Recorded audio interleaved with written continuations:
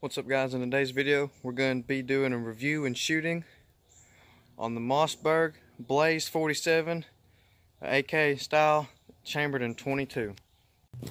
Alright guys, so I have not put no rounds through this, but here's the review part of it.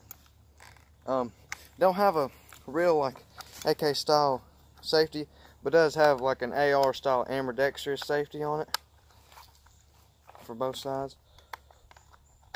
It's got a right-handed charging handle. It's got a 25 round magazine. Uh, today I'm shooting some CCI tactical uh, uh, AR tactical uh, copper copper uh, ballpoint ammo. This is what what it says. It's got a 25 round mag. It's got some um. It's got these sights on it. Thinking maybe one day put a, a, a, red dot or something on it just just for kicks maybe. Um yeah so it's chambered in 22 and we're gonna put some rounds. I haven't shot this gun yet so uh let's see how it goes I guess.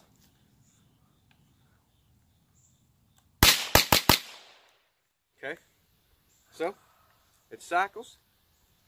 Um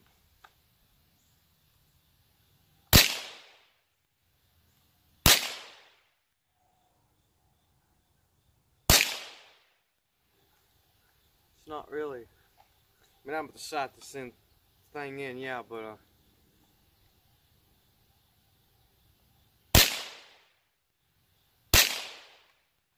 All in all, I like it. It looks like I've got like 15 rounds left or so.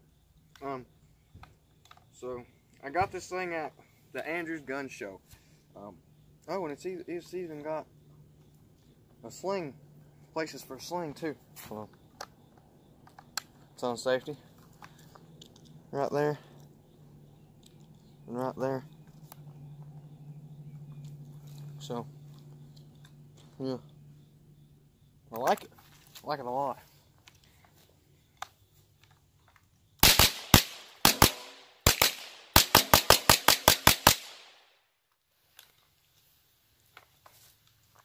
It's got this weird uh magazine release though in it. Right here. Right there. It's a little weird. But yeah. All in all. I like it. So um thanks for watching this video. Um if you'd like to see this gun in any more videos, give me some ideas. Hey, squirrel season opens in a couple days. This might be the death to a few squirrels. You Never know.